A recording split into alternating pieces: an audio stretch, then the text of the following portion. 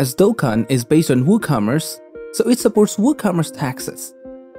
The vendors can choose those tax classes when establishing or modifying products, and you, as the admin, can configure taxes from the backend. Let's see how the whole process works. First, go to the WooCommerce settings section. Then, you have to check the box for Enable Taxes under General Options. This will open up a new tab in the settings page called Tax. In this page, click on Standard Rates. You can add new rates by clicking on the Insert Row button.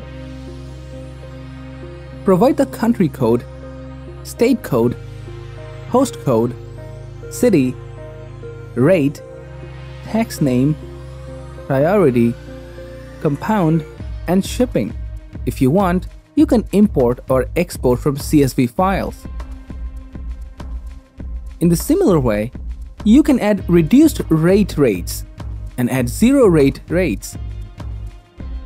Let's see how the vendors can use it.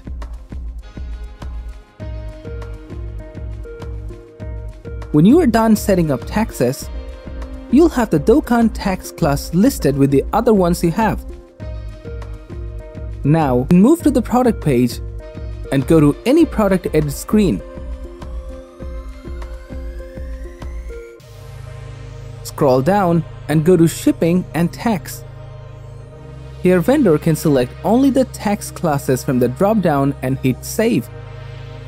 The taxes will be applied to the checkout page automatically. This is it. This way admin can add tax and the vendor can use it for its customers. If you want to learn more tips and tricks about Dokan, subscribe to our newsletter, read our blogs, and follow us on our social pages. The link is in the description. Lastly, don't forget to subscribe to our YouTube channel.